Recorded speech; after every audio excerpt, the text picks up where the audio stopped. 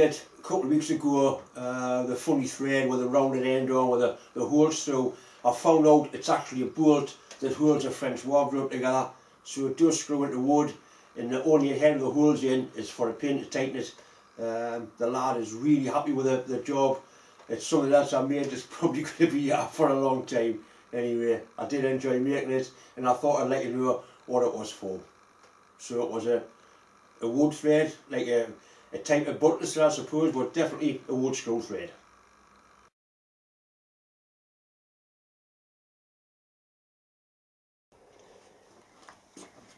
A while ago I made a liner puller for a lad for pulling diesel liners out.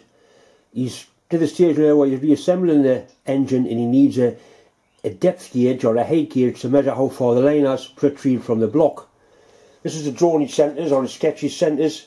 It's basically a bit of 25mm square material. Got a hole drilled through there. The gauge goes down through there, held in with a little screw that'll be split. And you hold that flat on the block and this measures how high the liner is above the block. Quite a simple idea. I'm going to make them one of them. I haven't got any 25mm square, I've got some 20 square key steel that'll do no problem at all. I have got a similar thing here. I'm not sure if this is homemade or not. It certainly wants Bob's attention on the indicator. But that's obviously what doing a surface, flat surface or something that's down below a flat surface. Where in large case it's what's up above the surface.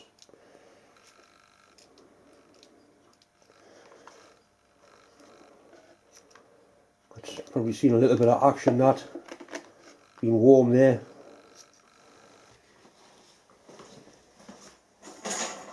Because this piece of casing has been lying in the bottom of the drawer getting clattered around, I'm just going to gently take all the burrs off it so we've got something nice and flat to start with.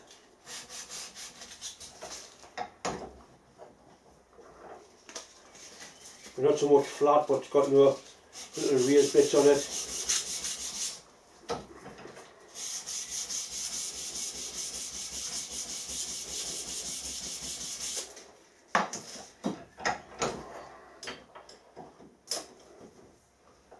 That aluminium jaws on the base so it's not gonna not gonna mark it.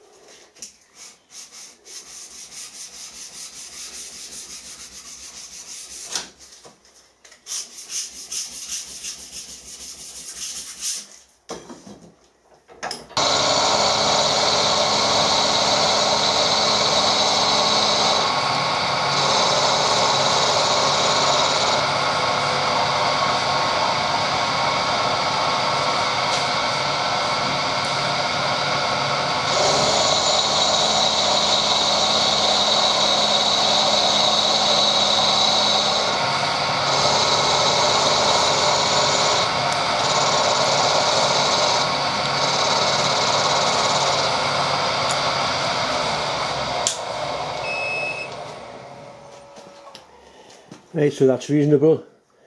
Now we know where the end of the bar is on the DRO, so I need to go back there for 22 mil, and I think it was 5 mil down it had to be recessed for.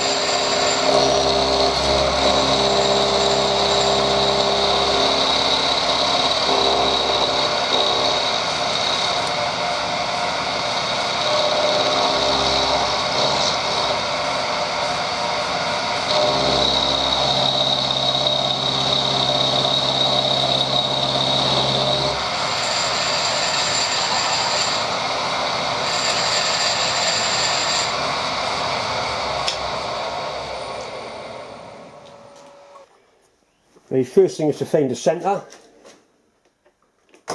Uh, First thing is to take the spindle lock off, then find the centre.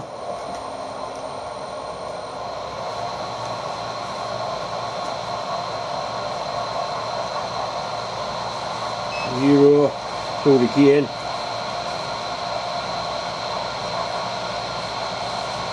Perfect. Look to the other side.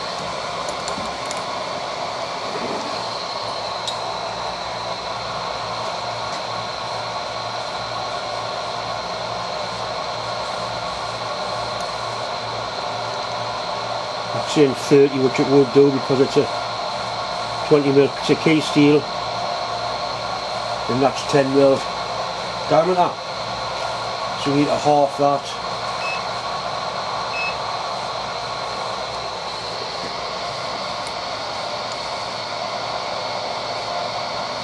Right, so that's spot on in the centre.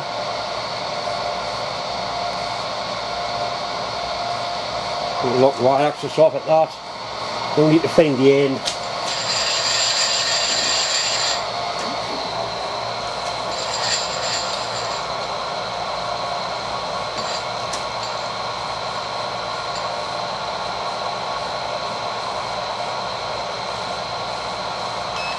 It again just to make sure.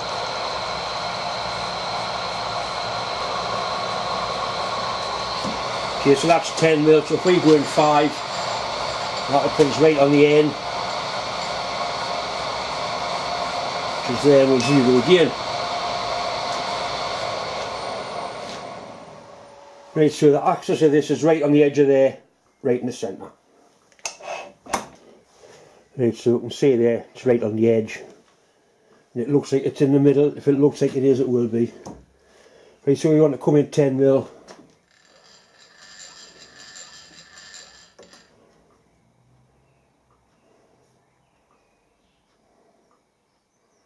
Which is there.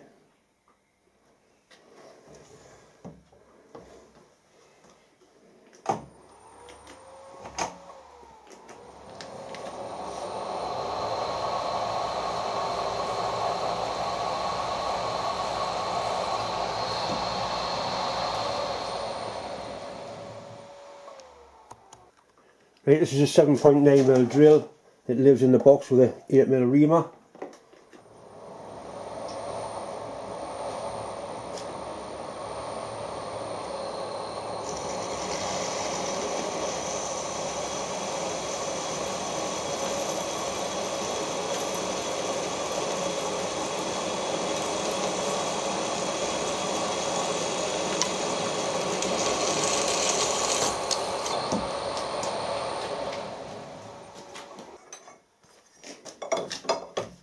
Particular ream has a parallel shank one. I have got a taper shank one as well.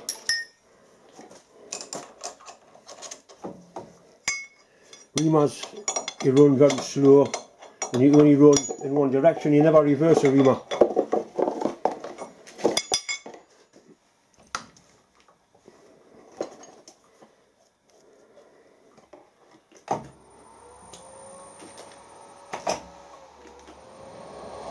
Just slow it right down. Nice and gently.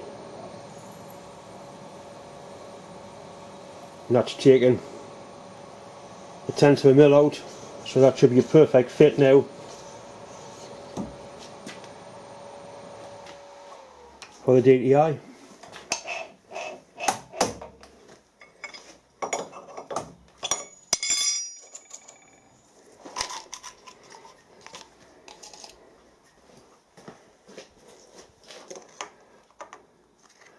Right which it is that's nice. Perfect fit. And by the time we put a slot in there be a clamp bolt goes in it's going to be just a job. Right once again let's find the, the centre time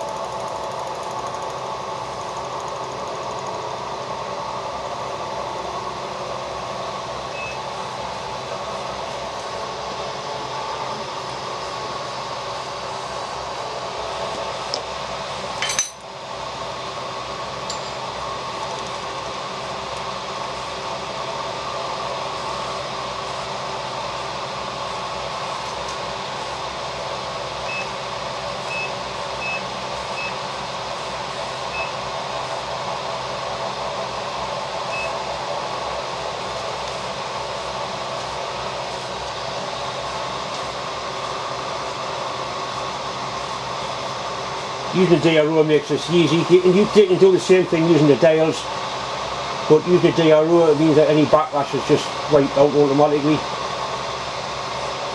And there's a bit of backlash on this. Right. So lock the y-axis off.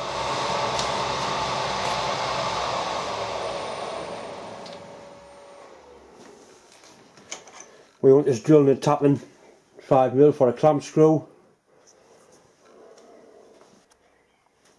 The tapping drill for 4mm, it's 3.2. So we'll go straight through the, the 3.2 and then we'll put a clearance drill in and then we'll go ahead and tap it.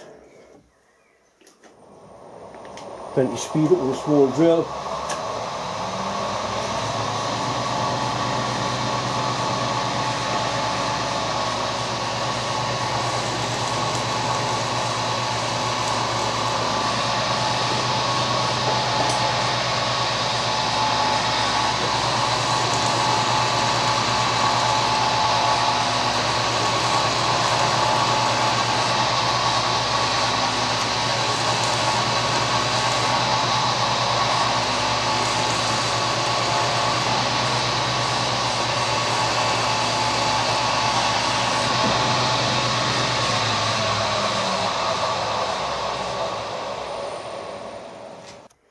Right, this 4 mil drill needs to go down for 10 so I can use me cheap and cherry Banggood. Depth gauge. Ten's going to get us halfway through it.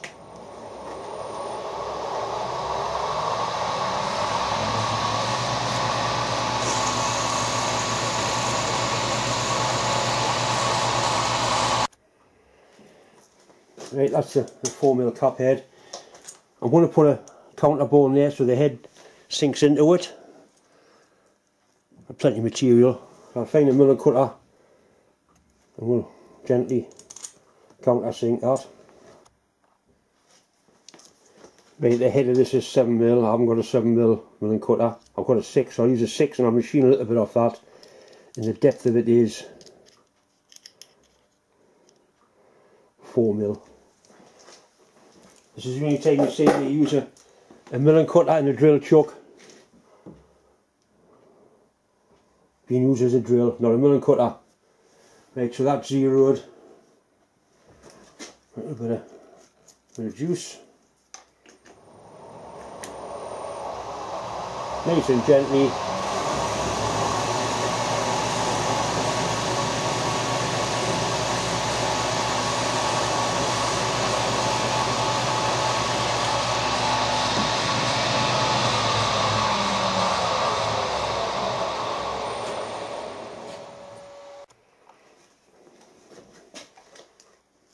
Right, I will be brave and power tap this.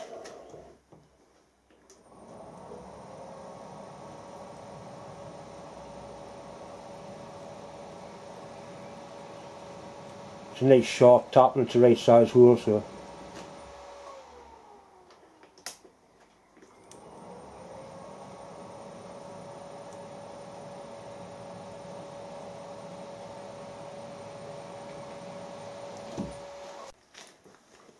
could just split that with a hacksaw.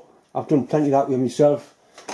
But a slitting disc certainly makes a, a much better job of it. So we need to bring up the table until it's just touching.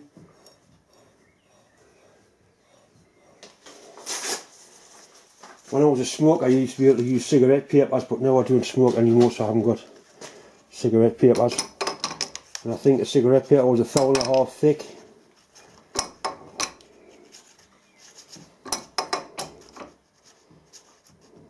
that's just gripping nicely there so we zero the axis down to the bottom. Oh, up to the top rather.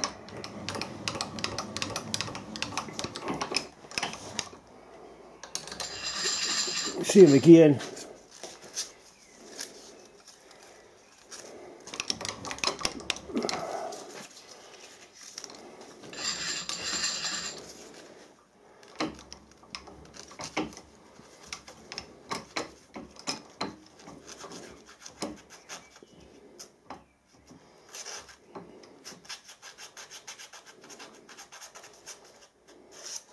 Right, if we're half that, that's going to go with the centre.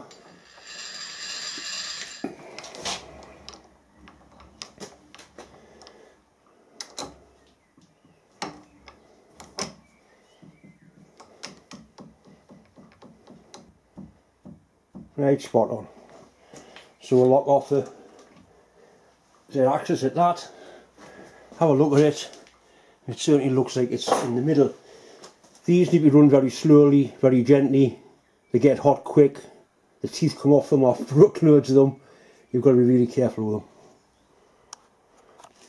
Right, when you think about it, it's just a revolving hacksaw blade, that's all it is. And this one's not particularly sharp, so we'll gently, very very gently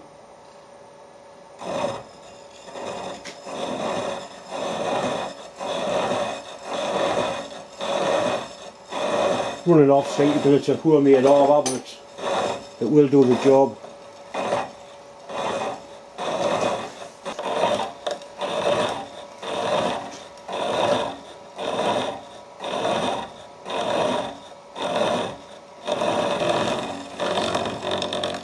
Right, that's it through.